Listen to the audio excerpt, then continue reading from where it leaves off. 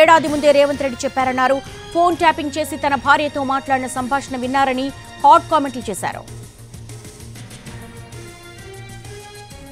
అది చాలా పెద్ద నేరం. ప్రైవేట్ ఫోన్ ట్యాపింగ్ చేయడం పర్మిషన్ సెంట్రల్ గవర్నమెంట్ని లేకుండా అది నేరం. ఆ నేరం కింద కేసీఆర్ కుటుంబ నాయకులు చాలా మంది జైలుకు పోయేటోళ్ళు పోతారని నాకు ఒక నమ్మకం విశ్వాసం ఉంది. నాకున్న సమాచారం. ఇది పర్సనల్. గవర్నమెంట్ నుంచి అంటే లేను నువ్వు డైరెక్ట్ అడిగినావు నాకున్న సమాచారం అంటే అడ్వైజర్గా వెరీ సూన్ వీళ్ళంతా జైల్లో ఉంటారు